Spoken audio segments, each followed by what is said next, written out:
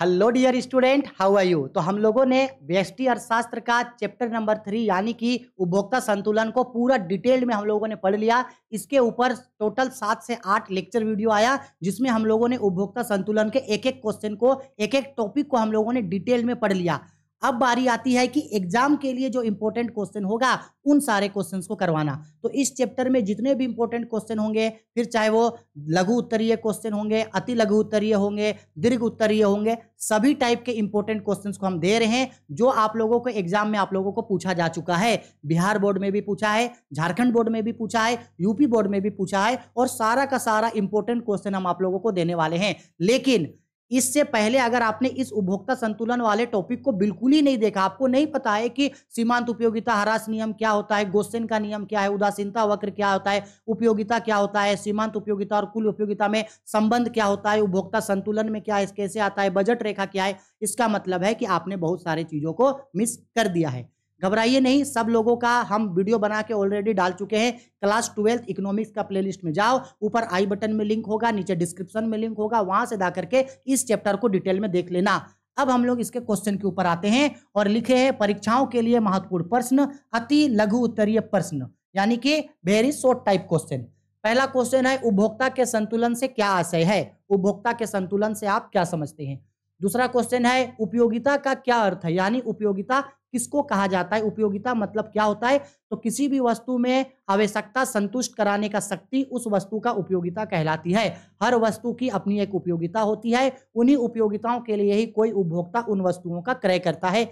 जिस वस्तु की जितनी अधिक उपयोगिता होगी, वह उपभोक्ता उस वस्तु को अधिक खरीदता है। सीमांत उपयोगिता क्या है? तो हम लोग पढ़े थे कि एक अतिरिक्त इकाई के उपभोग करने से कुल उपयोगिता में जो वृद्धि होती है, उसे ही सीमांत उपयोगिता कहा जाता है। सीमांत का मतलब है एक अतिरिक्त इकाई का उपभोग करना। जैसे जैसे एक अतिरिक्त इकाई का उपभोग किया जाता है वैसे वैसे इससे मिलने वाली सीमांत उपयोगिता घटती जाती है। सीमांत उपयोगिता को इंग्लिश में मार्जिनल यूटिलिटी यानी कि एमयू कहा जाता है।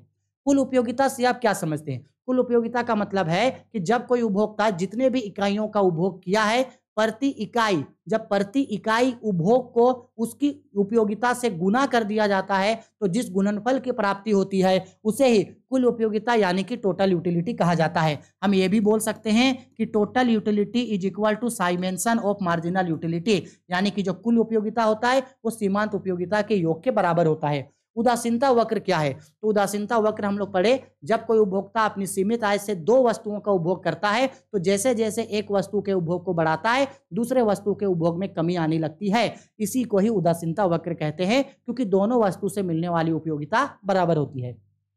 बजट रेखा किसे कहते हैं? बजट रेखा का मतलब पढ़े थे कि जब कोई उपभोक्ता सीमित आय से दो अलग अलग प्रकार की वस्तुओं का उपभोग कर रहा है तो उन दो वस्तुओं के उपभोग पे जितना रुपया वो खर्च किया है, उनके आय का बीच यानी वस्तुओं की इकाई और उन पे खर्च किया गया आय, वस्तुओं की वस्तुओं की कीमत और खर्च किया गया आय, उसके बीच का संबंध को बताने वाला वक्र बजट रेखा कहलाता है।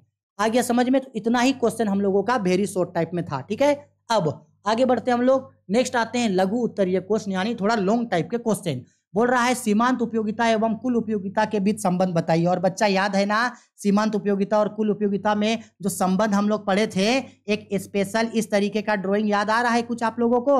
इस तरीके के ड्राइंग में हम लोग इसको पढ़े थे?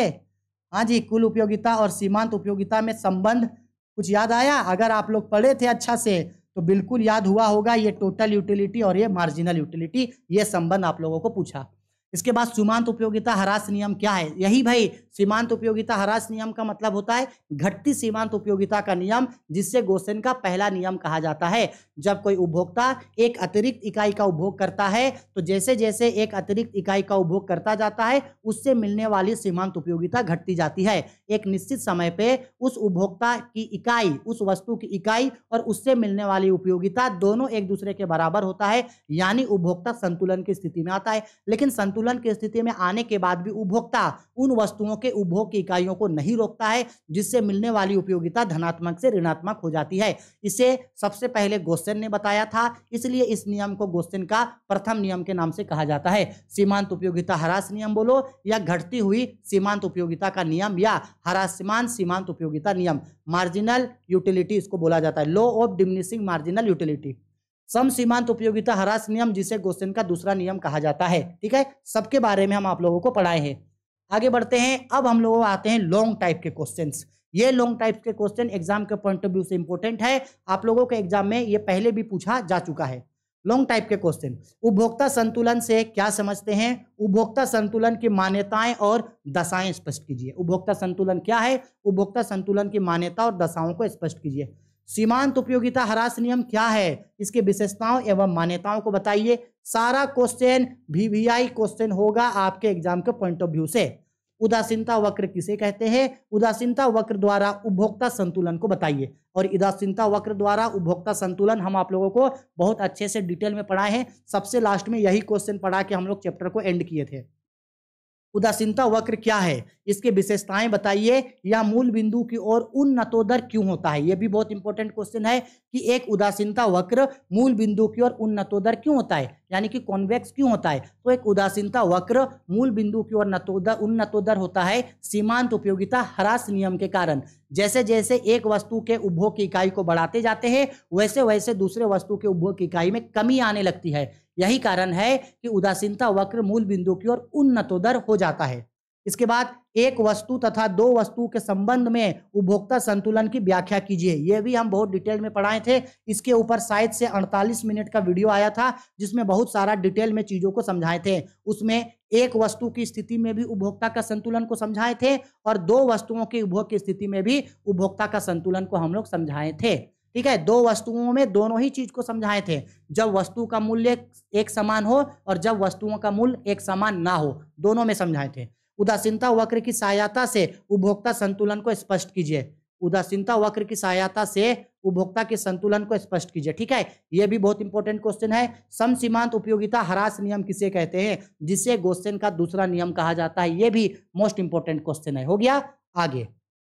बस हो गया? हाँ बस हो गया। इतना ही मोस्ट इंपॉर्टेंट क्वेश्चन है, ठीक है? सीमांत उपयोगिता हाँ ठीक। इतना ही आपका मोटा मोटी मोस्ट इंपॉर्टेंट क्वेश्चन है, और एक चाहें तो आप एक और क्वेश्चन बना सकते हैं, बजट वक्र क्या है? बजट वक्र कीमत रेखा जिसको बोलते हैं, बजट वक्र, यानी कि कीमत रेखा क्या है, बजट रेखा क्या है, कीमत रेखा के अंतर्गत कोई उपभोक्ता संतुलन में कैसे आता है, जो हम लोग लास्ट लेक्चर में जिसको पढ़े थे। इतना क्वेश्चन इस चैप्टर से इंपॉर्टेंट है। और अगर आप इन सारे क्वेश्चंस को कर लेते हो तो भाई बस बहुत है। और बाकी इसके अलावे हम लेक्चर वीडियो तो इसके लिए बताए हैं, वहाँ से कर लेना, आपका सब चीज़ कवर हो जाएगा, ठीक है? चलो, मिलते हैं नेक्स्ट वीडियो में, तब तक के लिए बाय टेक केयर